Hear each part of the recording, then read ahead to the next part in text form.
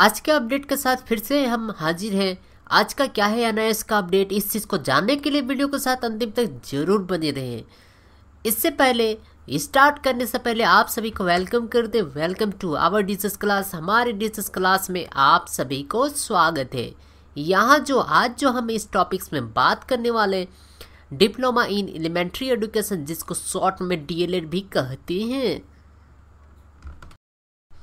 वैसे स्टूडेंट, वैसे कैंडिडेट जो एन से कर रहे हैं, उनके लिए बहुत ही बेहतरीन आज का अपडेट लेकर आए हैं।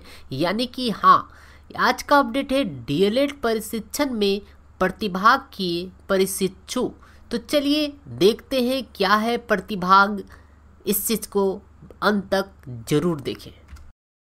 कि आप यहाँ पर देख पा रहे हैं अमर उजाला की ओर से यह न्यूज़, लेटेस्ट न्यूज़ निकल के आ रहा है। डीएलएड प्रशिक्षण में प्रतिभाग किए परिशिक्षु।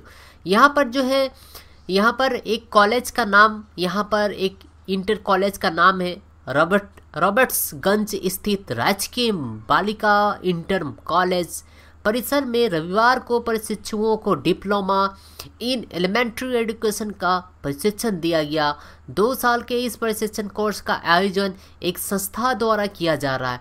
राजकीय बालिका इंटर कॉलेज की प्रधानाचार्य वंदना सिंह ने बताया कि दो साल तक प्रत्येक रविवार को कॉलेज में प्रशिक्षुओं को प्रशिक्षण दिया जाएगा। इस प्रशिक्षण में 100 बीटीसी प्रशिक्षुओं अनु देशकों को शामिल होना था।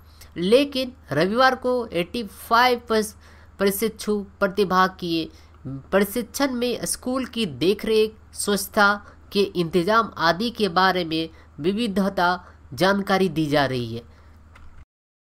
कि यहाँ पर कहे जा रहे हैं कि किस प्रकार से, किस तरह से किए जाएँगे डिप्लोमा इन एलिमेंट्री एजुकेशन के बारे में किस तरह से कोर्स को कंप्लीट किए जाएँगे क्या क्या फ़ाइल तैयार करने उसी के विषय में यहाँ पर एक बड़ी न्यूज़ निकल के आ रही थी।